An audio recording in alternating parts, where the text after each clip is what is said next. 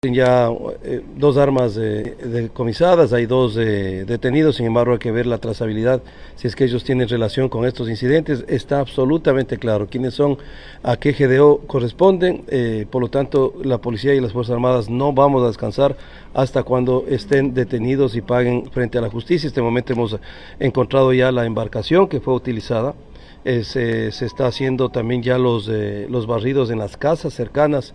Como ustedes saben, este territorio es bastante extenso, difíciles áreas de accesibilidad. A veces la información no es la que quisiéramos que nos dé también la ciudadanía porque tiene ciertos recelos de hacerlo.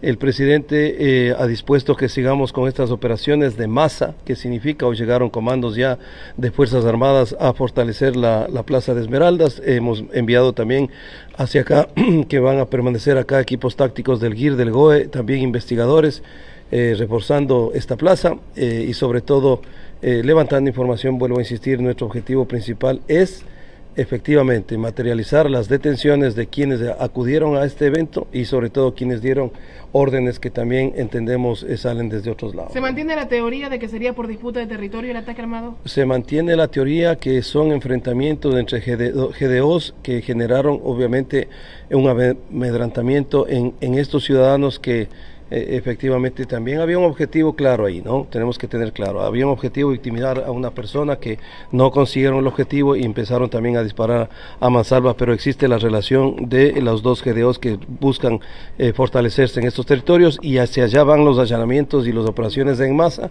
que vamos a hacer en todos los territorios en donde se tiene información que actúan eh, estos GDOs, va a actuar Fuerzas Armadas y Policía con toda, absolutamente toda la contundencia. Este rato se van a levantar también huellas en la embarcación que ojalá nos den eh, otros indicios, sin embargo, vuelvo a insistir ya por eh, pericias de, de videos, pericias ya absolutamente definidas, sabemos exactamente quiénes operaron con las armas cortas, con las armas largas, así que hacia allá apunta todos los esfuerzos.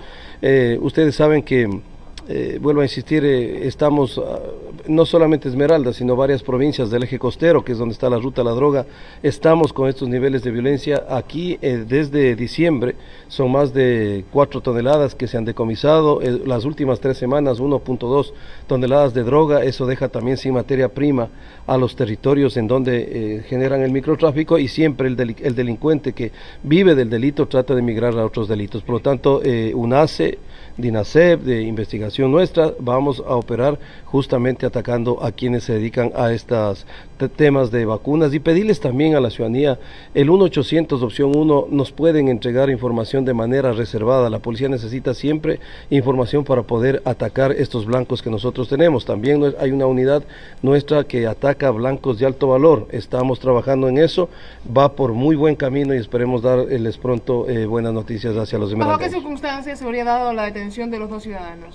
En los allanamientos que se hicieron en sectores sobre todo que son reconocidos por uno de los GDOs y hoy hicimos otra hoy, hicimos dos detenciones ayer una es decir son tres son tres. Pero habrá que ver el grado de participación que ellos tengan no porque los indicios eh, sí fueron bastante sospechosos del que no quisieron colaborar con la policía y las fuerzas armadas pero quizás es una buena noticia que hoy hemos encontrado ya la, la lancha y sobre todo se está barriendo ese sector. ¿En qué lugar fue encontrar la lancha? En